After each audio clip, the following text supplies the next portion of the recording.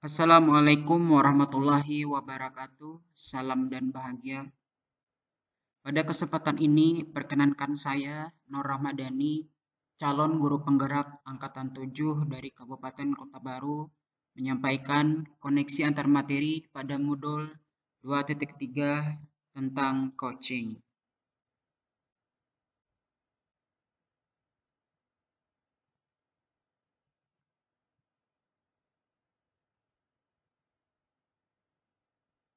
Pertanyaan pertama, bagaimana peran Anda sebagai seorang coach di sekolah dan keterkaitannya dengan materi sebelumnya di paket modul 2, yaitu pembelajaran berdiferensiasi dan pembelajaran sosial dan emosi.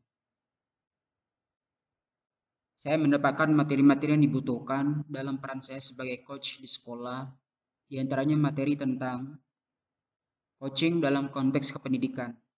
Pada materi ini saya mendapatkan pemahaman bahwa Seorang coach membantu seorang coachee, rekan guru agar dapat menemukan kekuatan dirinya, khususnya dalam penerapan pembelajaran yang berpihak kepada murid, dalam hal ini pembelajaran berdiferensiasi dan KSE. Paradigma berpikir coaching dalam komunikasi yang memberdayakan untuk pengembangan kompetensi. Pada materi ini saya mendapatkan pemahaman bahwa dalam menerapkan pembelajaran berdiferensiasi kepada murid terjadi proses coaching Khususnya pada saat identifikasi profil belajar murid, diperlukan beberapa paradigma seperti fokus, bersikap terbuka, dan mampu melihat peluang murid. Kemudian, kompetensi inti coaching. Pada materi ini saya memperoleh pengetahuan bahwa kompetensi coaching meliputi kehadiran penuh, mendengarkan aktif, dan mengajukan pertanyaan berbobot.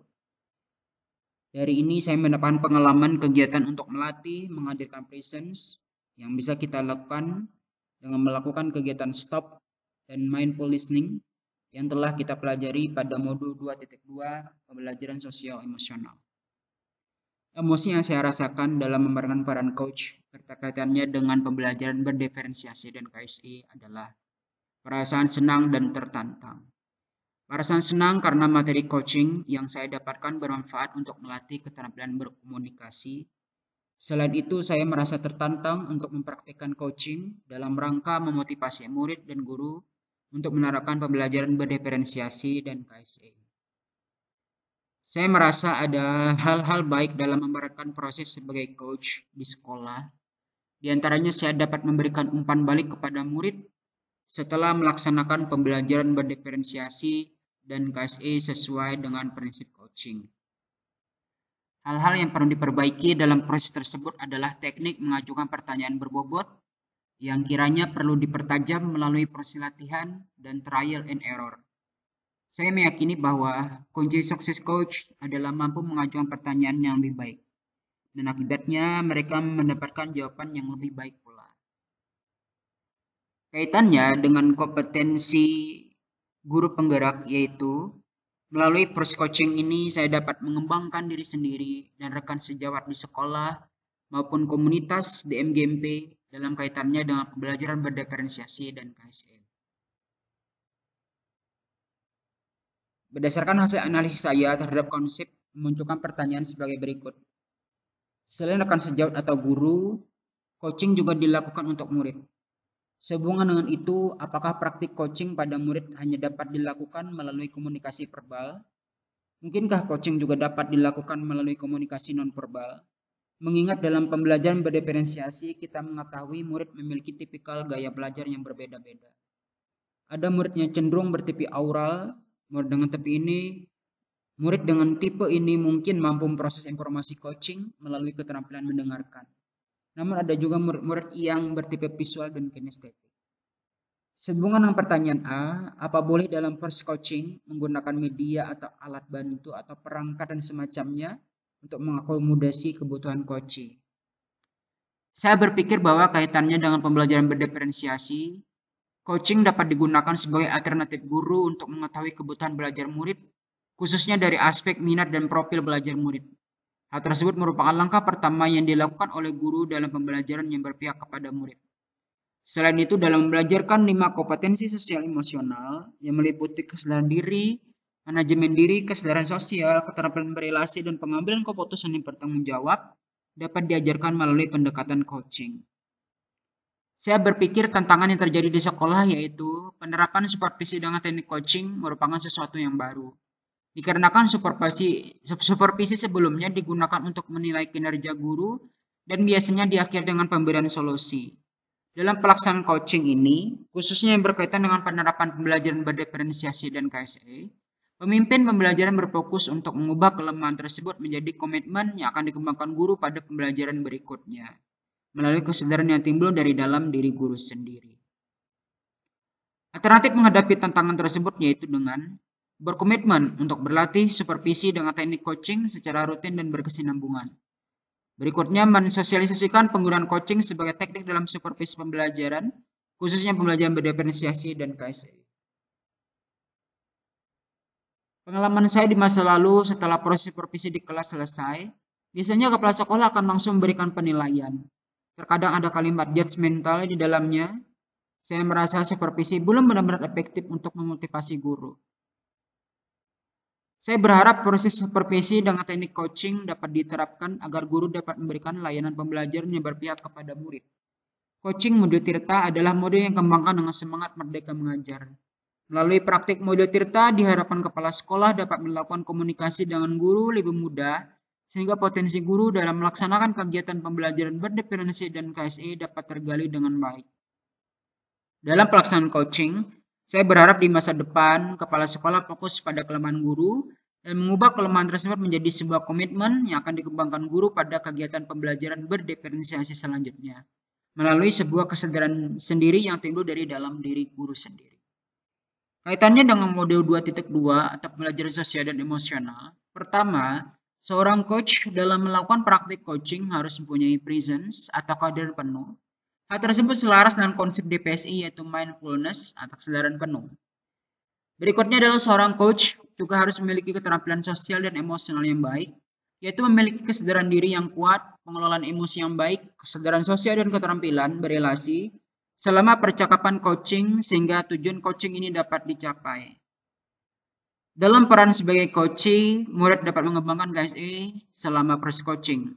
Contohnya pada menetapkan tujuan pada Lord Tirta, murid dapat mengembangkan KSE pengelolaan diri. Pada proses identifikasi, murid dapat mengembangkan KSE kesadaran diri. Pada rencana aksi, murid dapat mengembangkan KSE pengambilan keputusan yang bertanggung jawab.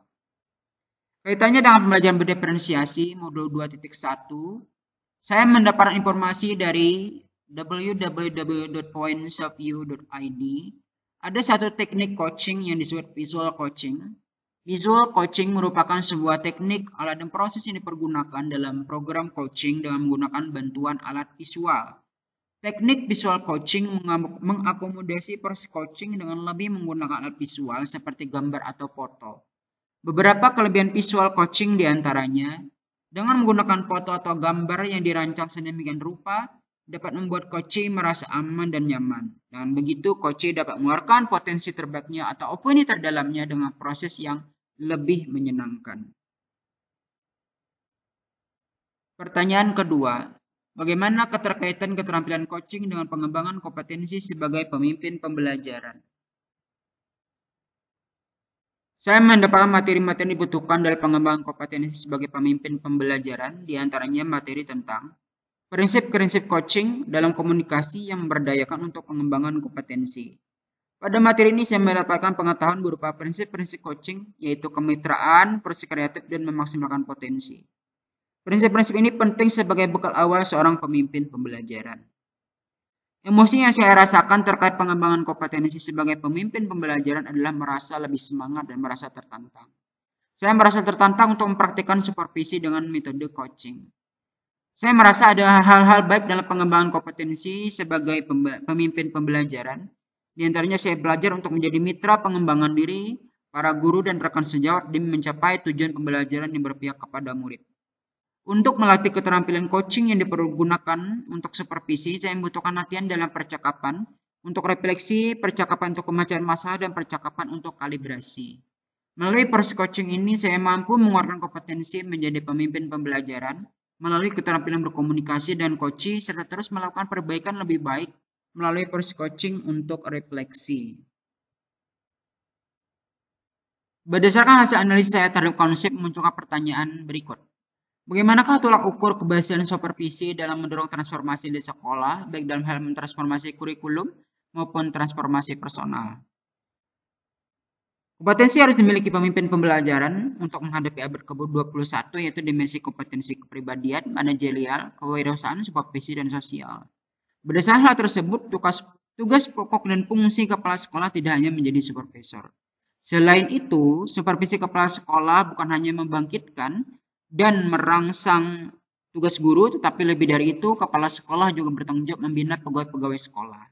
Pertanyaannya adalah bagaimanakah menyeimbangkan peran kepala sekolah baik sebagai supervisor maupun sebagai manajer di sekolahnya. Bagaimanakah teknik supervisi yang baik terhadap pegawai-pegawai sekolah misalnya bendahara, kepala perpustakaan, kepala lab, dan lain-lain atau dalam hal ini supervisi non-akademik. Saya berpikir bahwa kaitannya dengan, dengan kompetensi pemimpin pembelajaran, keberhasilan seorang pemimpin dapat dilihat dari kemampuannya dalam menggerakkan orang lain dalam mencapai tujuan yang telah ditetapkan. Pemimpin pembelajaran sebagai supervisor mempunyai tanggung jawab untuk meningkatkan kemampuan guru dalam mengelola kegiatan pembelajaran di sekolah, serta mempunyai peranan yang sangat penting terhadap perkembangan dan kemajuan sekolah. Oleh karena itu, pemimpin pembelajaran harus mampu melaksanakan supervisi secara baik dan benar sesuai dengan prinsip-prinsip supervisi serta teknik dan pendekatan yang tepat yaitu melalui teknik coaching. Saya berpikir tantangan yang dihadapi coach terkait keterampilan coaching sebagai pemimpin pembelajaran adalah pada tahapan identifikasi, pada tahapan identifikasi ini merupakan bentuk keterampilan dalam berkomunikasi di mana seorang coach harus mampu memfasilitasi coachee untuk mencapai sesuai yang diharapkan. Kemampuan bertanya harus lebih fokus pada kebutuhan coachee, di mana hal ini akan berdampak keberhasilan pada pelaksanaan coaching. Seorang coach harus mampu mengajukan pertanyaan di mana jawaban yang diharapkan lebih aktif. Pertanyaan-pertanyaan terbuka dengan jawaban terbuka pula agar mampu membuka potensi coachee. Coach harus menjadi pendengar yang aktif dan mampu membuka diri mengenai pemahaman yang disampaikan coach. Menjadi sebuah tantangan di mana pertanyaan yang diajukan harus mendapatkan penemuan, pemahaman, komitmen, dan tindakan nyata yang harus diambil. Coach juga harus cermat terhadap penemuan-penemuan baru yang disampaikan oleh coach. Alternatif menghadapi tantangan tersebut yaitu dengan berkomitmen untuk berlatih supervisi dengan teknik coaching secara rutin dan berkesinambungan menggunakan alur tirta. Saya berharap proses supervisi dengan teknik coaching dapat diterapkan agar pemimpin pembelajaran dapat memberikan layanan pembelajaran yang berpihak kepada murid. Coaching model Tirta adalah model yang dikembangkan dengan semangat merdeka mengajar. Kaitannya dengan modul 1.1 Filosofi Pendidikan Ki Hajar Dewantara, sebagai pemimpin pembelajaran, coaching menjadi salah satu proses menuntun belajar murid untuk mencapai kekuatan kodratnya. Pemimpin pembelajaran dapat memberikan tuntunan melalui pertanyaan-pertanyaan reflektif dan efektif agar kekuatan kodrat murid terpancar dari dirinya. Kaitan dengan modul 1.2, nilai dan peran guru penggerak, sebagai pemimpin pembelajaran, nilai kolaboratif, reflektif, dan berpihak kepada murid dapat diwujudkan melalui proses coaching. Kaitan dengan modul 1.4, budaya positif, sebagai pemimpin pembelajaran dapat mengimplementasikan segitiga restitusi dan keyakinan kelas berdasarkan prinsip coaching. Kaitannya dengan bahan ajar lain, saya mendapatkan informasi yaitu kegiatan coaching dengan pola in-on in-on dapat meningkatkan kompetensi pemimpin pembelajaran dalam hal ini kepala sekolah dalam melaksanakan supervisi akademik. Pada in-on in-on merupakan suatu rancangan serangkaian kegiatan untuk mengaktifkan dan mengefektifkan kegiatan atau pelatihan dengan model pendampingan. Pada fase 1 adalah in 1, adapun kegiatannya berupa temuan permasalahan tentang supervisi akademik dilanjutkan dengan penyampaian materi. Fase 2 berupa kegiatan on 1. Pada fase ini kepala sekolah berkegiatan di sekolah masing-masing guna menerapkan materi yang telah disampaikan pada kegiatan in 1. Dilanjutkan dengan fase ketiga yaitu berupa kegiatan in 2. Pada saat itu kegiatannya berupa tukar pengalaman, temuan permasalahan yang telah dialami pada kegiatan on 1. Pada fase terakhir keempat berupa on 2, kegiatannya berupa implementasi supervisi akademik pada semua guru. Demikianlah koneksi antar materi pada modul 2.23 yang saya sampaikan. Mohon maaf apabila ada salah dan kekurangan. Saya akhiri wassalamualaikum warahmatullahi wabarakatuh. Salam dan bahagia.